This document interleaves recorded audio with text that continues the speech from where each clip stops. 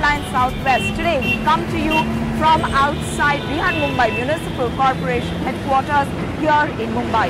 And over the next couple of minutes, we'll take you through the shocking story of how the municipal authorities have lost crucial files, among them those belonging to Mumbai's landmarks, triggering a huge security hazard. But first, let's hop across to my colleague Radhika Iyer in Bangalore.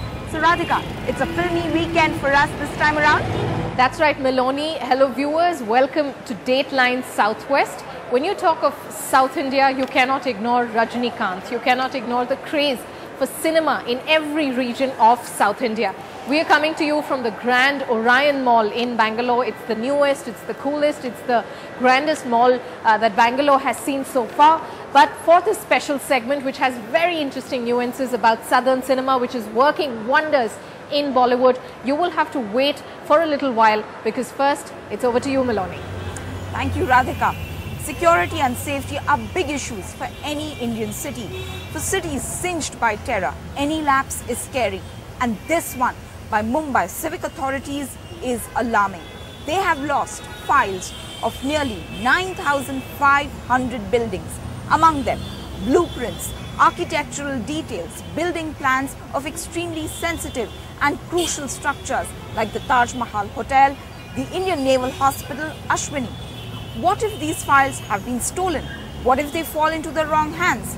Who is responsible if Mumbai's security is jeopardized? The Taj Mahal Hotel, Naval Hospital INHS Ashwini, Tata Institute of Fundamental Research. Among Mumbai's most important and sensitive structures.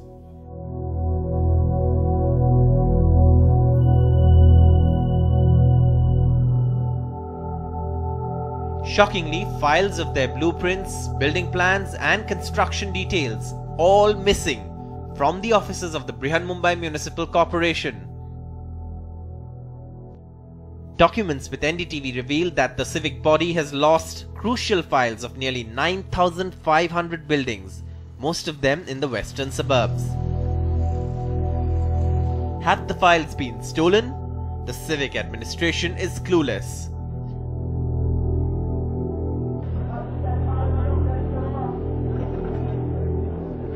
The massive security lapse was highlighted when authorities failed to locate plans of Mahim's Altaf mansion after it crashed four weeks ago, killing 10 people. The big fear? These files can go into the wrong hands and compromise the security of the city. साल में जो गायब हुई है वो Taj Mahal hotel की है 2008 में जो दहशतवादी हमला हुआ था उसके ऊपर से गवर्नमेंट ने कुछ सीख नहीं ली है ऐसे मुझे लगता है The BMC has filed a complaint with the police and informed the state government.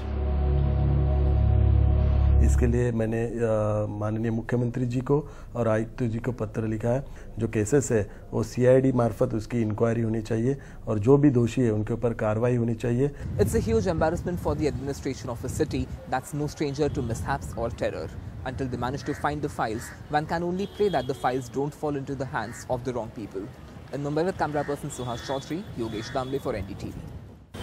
Mumbai Civic Chief Sitaram Kunte admits that the missing files can be a potential security hazard.